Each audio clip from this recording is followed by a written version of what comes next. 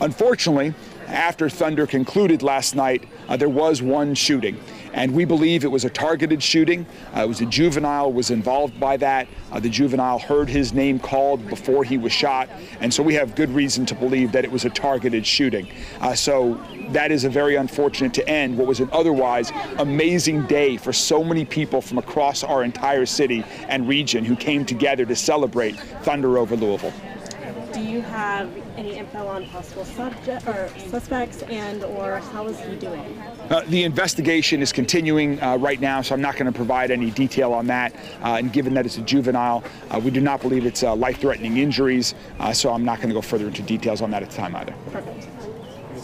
I guess what's your message to the people hearing about this? So my message is twofold. First, people know what there's some people who know what happened.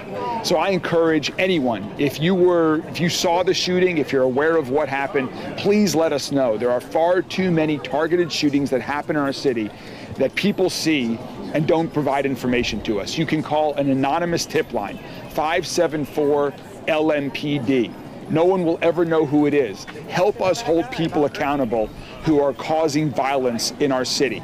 Or you can call 582 CLUE, that's Crime Stoppers, and also provide information to help us solve crimes like happened last night.